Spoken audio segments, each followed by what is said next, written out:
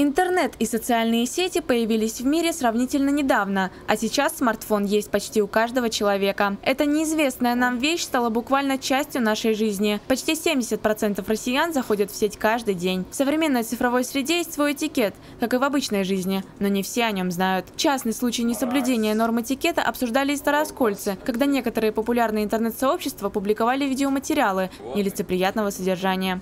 Чего вы там спрятались? Не, вы ж так... Ну давай.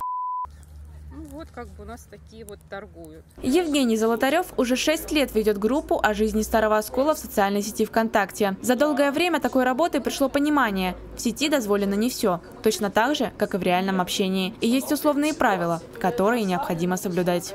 Цифровой этикет – это забота о людях и забота о себе. Вообще этикет – это забота, ну, ну по сути.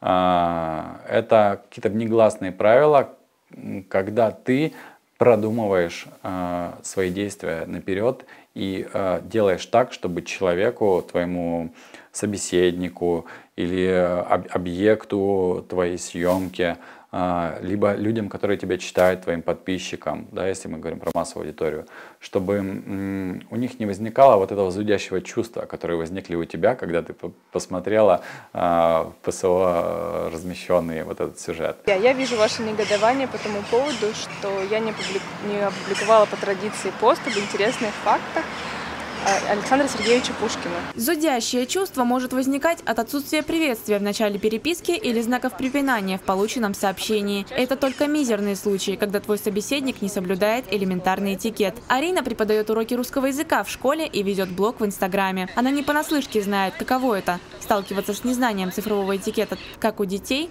так и у взрослых. Мы же, например, не звоним своему начальнику или коллегам по работе после 9 часов вечера. В интернете в интернете многие могут написать и после 10 часов вечера, то есть и со всякими вопросами без здравствуйте, без до свидания, без спасибо, без пожалуйста. То есть здесь э, в социальных сетях, я считаю, что тоже должен присутствовать какой-то этикет. Некоторые дети думают, что если ты находишься у них в социальных сетях в друзьях, то есть этот момент понебратства. То есть некоторые переходят границы. Они почему-то думают, что можно пообщаться с учителем точно так же в любое время и на любые темы в социальной сети. Но это ведь не так.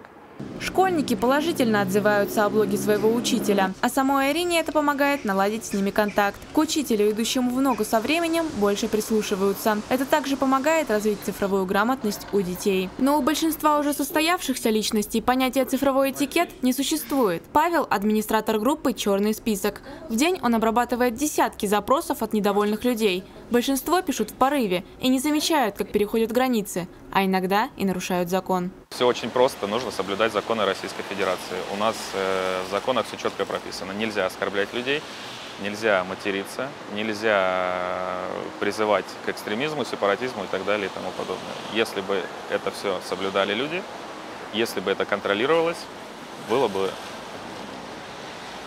было бы более этичных людей в цифровом формате. Пока на законодательном уровне многие аспекты цифрового этикета никак не регламентируются, поэтому электронный обмен информацией опирается не на закон, а на общественные понятия. Получить пояснение от соответствующих муниципальных структур тоже не получилось, но в любом случае абсолютную свободу в интернет-пространстве каждый ограничивает в силу своего воспитания.